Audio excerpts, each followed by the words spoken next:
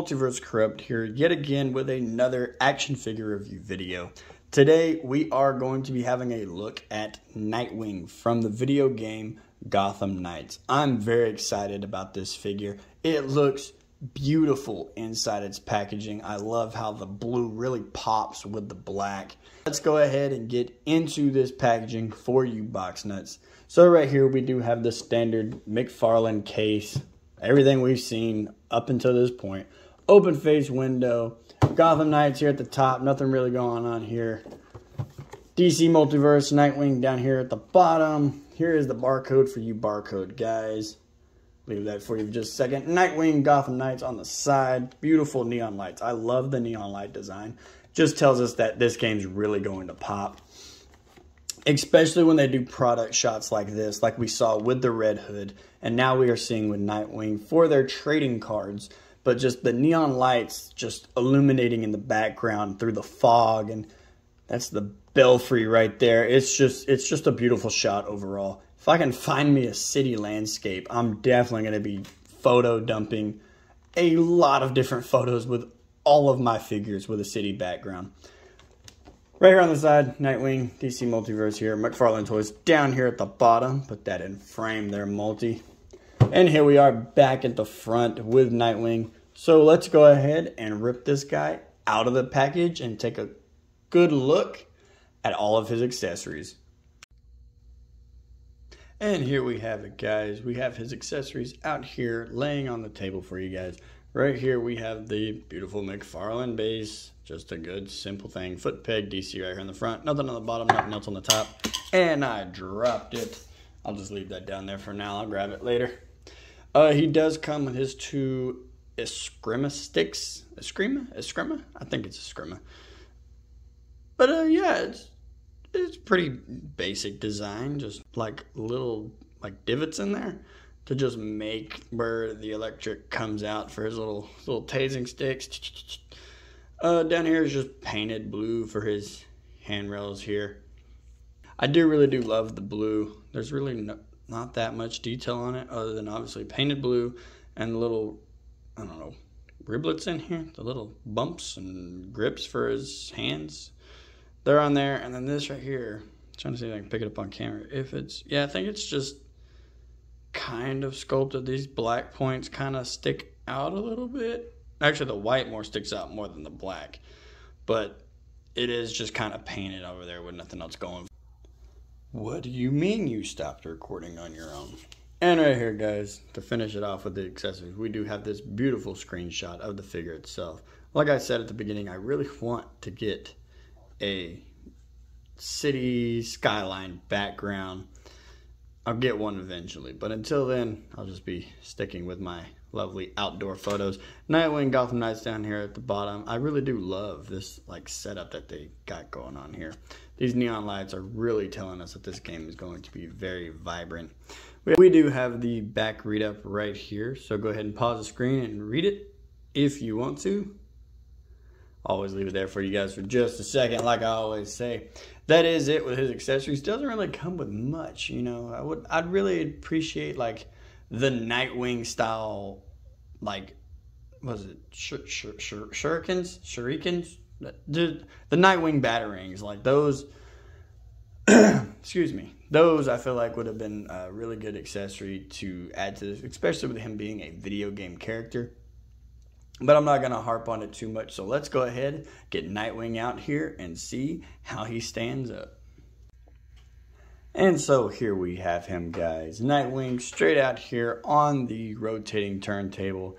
And I have to say, first impressions, I love this figure. It poses perfectly, especially with the Eskrima sticks it is very easy to get those in his hands, but it's also very easy to get them out of his hands. But I am glad that McFarlane went the alternative route this time and gave us a little bit more of a bigger grip for his hands as opposed to what they've been doing lately with um, if y'all remember from my last Batman review, the Batarang was kind of snug getting it into his hand. It fell out very easily, but his hand was more like like it would cover up at the bottom here and you wouldn't be able to put the Batarang actually in his hand But these Escrima they slide in very easily. They slide out very easily.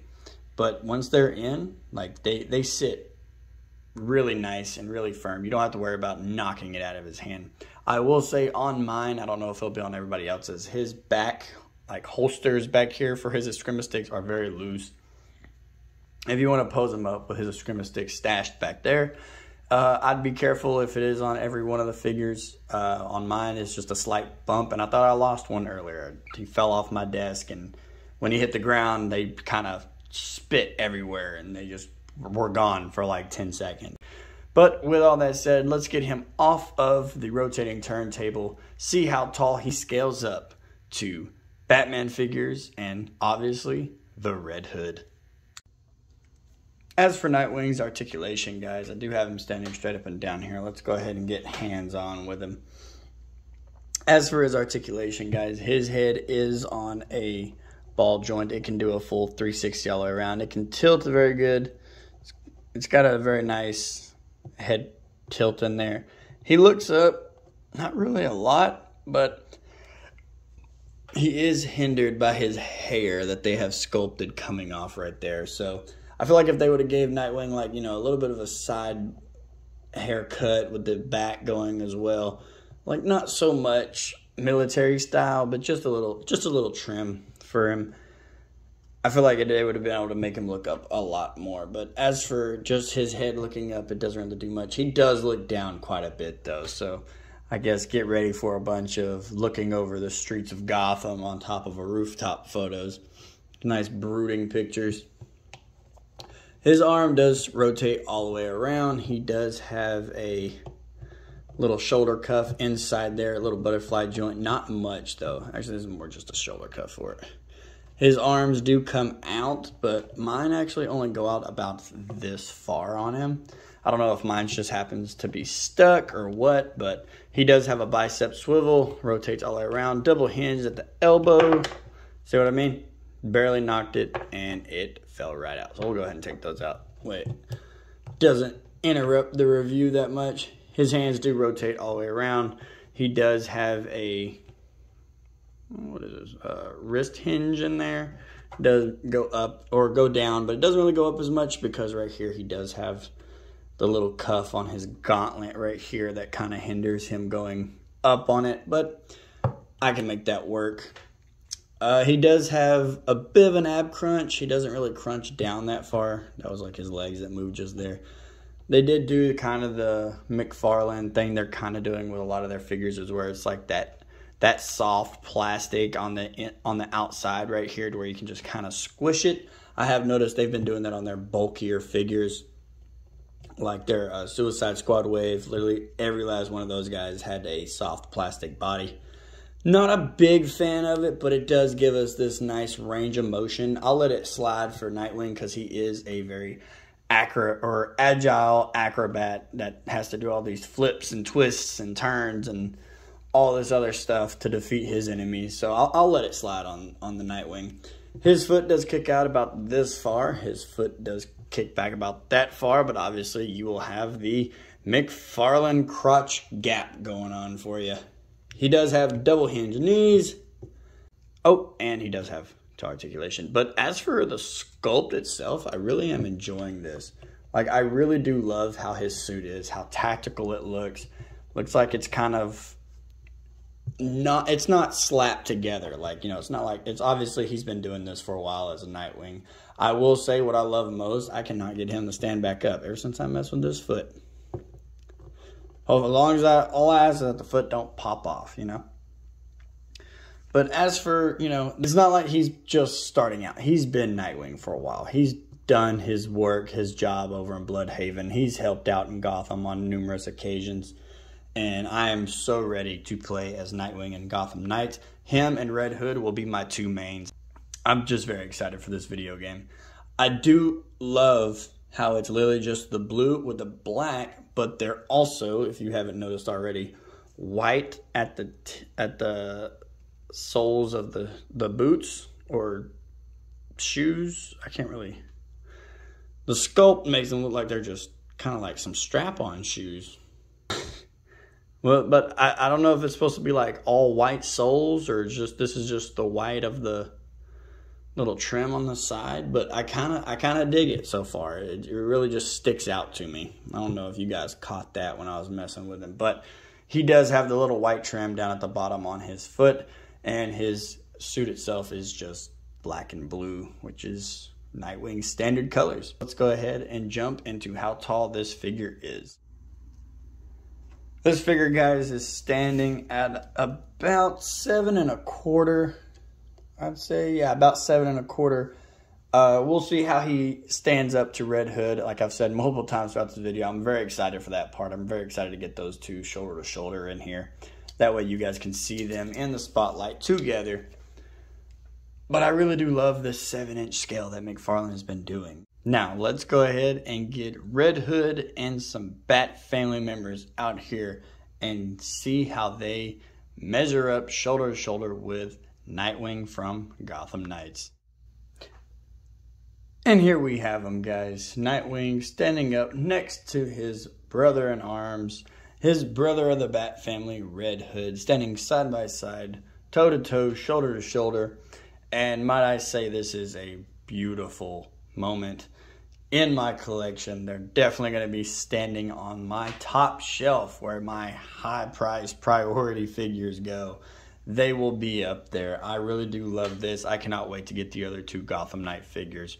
But this is how tall he pairs up to Red Hood. Red Hood being a little bit shorter, which, if you ask me, I guess makes sense considering Nightwing was around first.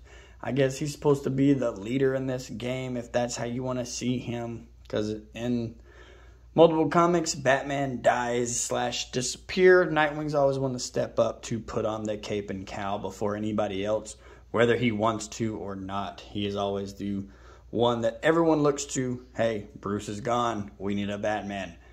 He is Batman. I've always felt that if there was ever a battle for the cowl type thing, which I feel like Gotham Knight might become, I would want Dick Grayson to become the next Batman not Jason Todd, not Robin, not uh, Tim Fox from that storyline.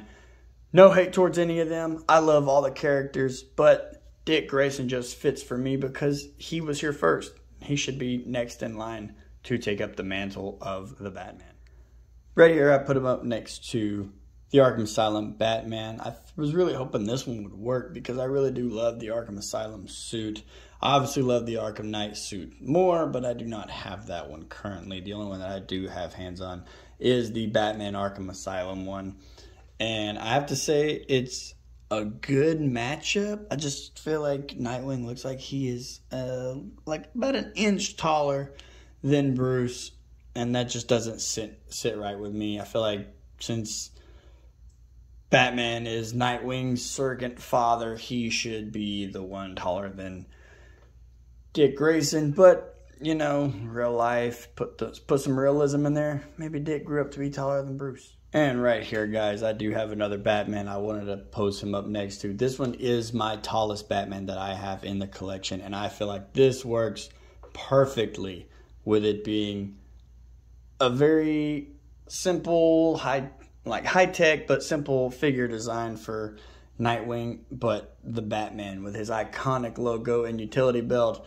I feel like, and, and with height, like he's slightly taller than Nightwing is, but I feel like with height and with how they scale up with each other, I feel like this is going to be my Batman for this makeshift universe, the Batman of the three Jokers. I am perfectly fine with this matchup right here, this side by side. I feel like that Batman would fit perfectly in between all of them on the top shelf, but obviously I have to keep him with the three Jokers lineup when I have him just sitting on the shelf. But make no mistake when I say on Instagram, this will be the Batman that will join the Gotham Knights in their battle to protect Gotham. And right here, guys, obviously I had I had to get the first wave Nightwing out here. I believe the only other Nightwing that McFarlane has produced. And I have to say it is a big step up compared to the Wave 1. I love the Wave 1. It's always going to be one of my favorite Nightwing designs and costumes. I really need to track down the red suit. I have not been, been lucky at all at finding the red suit for Nightwing on this one. But um, as for scale and everything, he is taller than this one. Maybe he grew up somewhere along there. Maybe this is a a starter Nightwing, early 20s, and this can be like, you know, mid 20s. Uh, maybe he grew some inches. But I feel like it's a good change of pace as opposed to like the Eskrima sticks having no paint on this one, but they did have a good design or a good detail in the Eskrima sticks part. And then over here, just being completely painted and sculpted in between here and there. Like, I just feel like it was a really good step up. McFarlane really came a long way with it come when it comes to the whole making their Nightwing figures.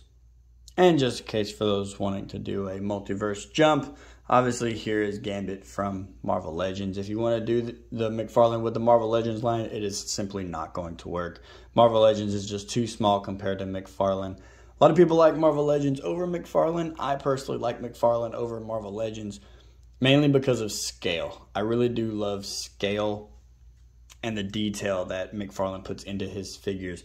Not that Marvel Legends doesn't put detail into their figures, because this is a beautiful Gambit, but it is just not tall enough for me. I need to have them about seven inches or so, roughly seven inches, and then I'm happy. But this little six inch, there's only so many things you can put him with, as opposed to, you know, the different scales that are out there. So here we have him guys, back on the rotating turntable, which tells you guys that this video is coming to an end. I loved filming this video for you guys. I really love this figure. I love this figure so much that on my scale, Nightwing is coming out with a solid 9 out of 10. And I feel really good with that number. He's very proportionate. He can reach all kinds of lengths and do all kinds of kicks and flips and I'll just have to show you guys on Instagram what I'm talking about when it comes to kicks and flips and other stands that I can use to pose him up in. I'm going to be having a great time messing with this figure. But with all that said, guys, once again, click that like and subscribe and the notification bell. Leave a comment if you like the video and share it with a friend. Really does help my channel out. And I will see all of you guys in the next video.